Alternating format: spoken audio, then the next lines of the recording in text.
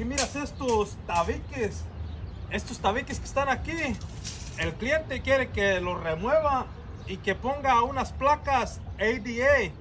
Se lleva alrededor como de 7, 7, 7. Y por cada una le voy a cobrar mil dólares.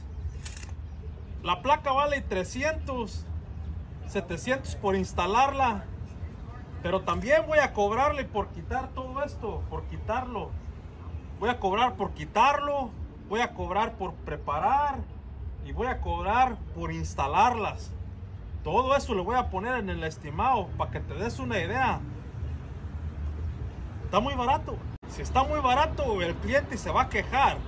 Se va a quejar y me va a decir, no, no puedo hacerlo, está muy barato. Podría subir el precio más y él me va a poder orientar. Pero le voy a cobrar mil dólares por cada ADA que instale. Son alrededor de 7, son arribita de 7 mil. Saca tus cuentas, más o menos es lo que voy a hacer. Ya dije,